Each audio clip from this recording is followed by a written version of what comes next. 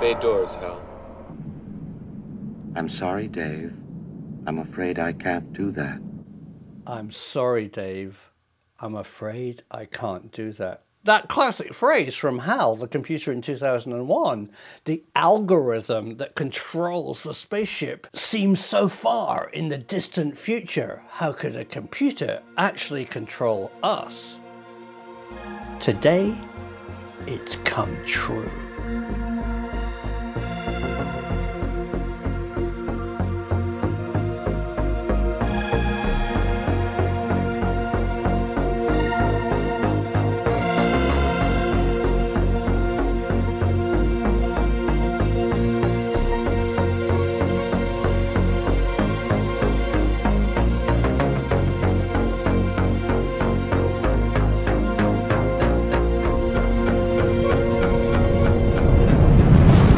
In a brilliant article by Tom Barrett of Edinburgh University, he discusses the algorithm. So, what exactly is an algorithm?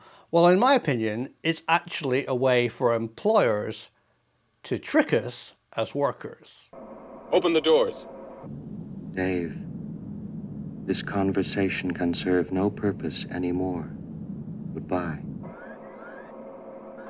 Hal? And how has this all come about? We're all aware of the dystopian science fiction view of mal-aligned computers, but now they control us. They speed up share trading, they build an optimum warehouse and building for us, and they choose our medical care. You can download an app that will actually help you interview people and no doubt say, I'm sorry, Dave.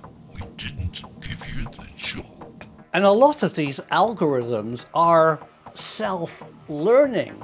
So they actually change over time in incredibly complex ways that nobody really understands.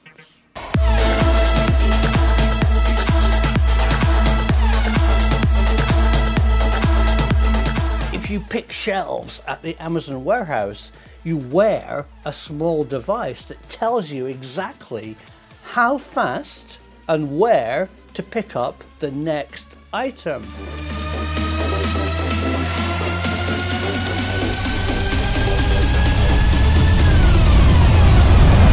And it's set somewhere between fast walking pace and running. How unhealthy is that?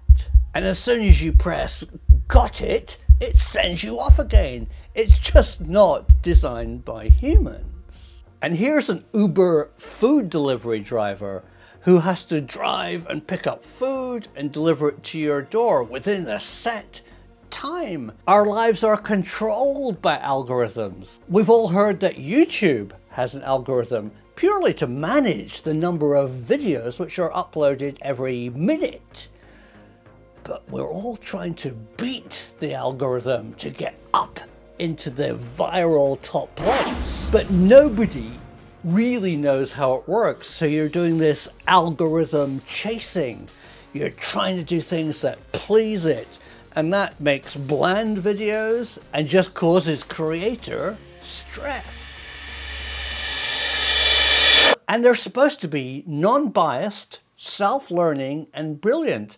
But the probation service in the US interview prisoners who have applied for parole to go on probation, and unfortunately, the algorithm blocks parole 45% of the time if you're black, and 23% of the time if you're white. Was that programmed in from the start, or is the algorithm racist? Dave, this conversation can serve no purpose anymore. Goodbye. Hal? And algorithms have no transparency about them. When they change, learn, mutate, or are programmed, it completely changes how you have to work. Imagine you're an Uber driver and suddenly the algorithm no longer wants you. What's the problem? I think you know what the problem is just as well as I do. What are you talking about, Hal?